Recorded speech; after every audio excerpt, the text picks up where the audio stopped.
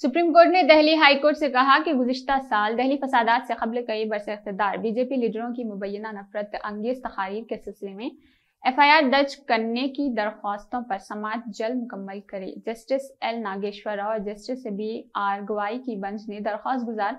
मोहम्मद नाजिम और एक दीगर की दरख्वास्त पर हाईकोर्ट से कहा कि उन दरख्वास्तों पर तीन माह में फैसला करने की कोशिश करे।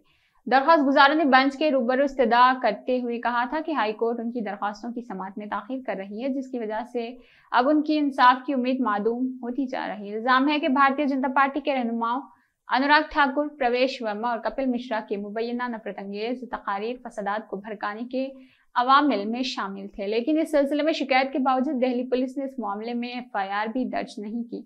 एफआईआर के इंदराज और मुनसिफाना तहकीकत की मांग करने वाले उनके अर्जियों पर हाईकोर्ट में भी समाज पर फैसला करने में ताखिर हो रही।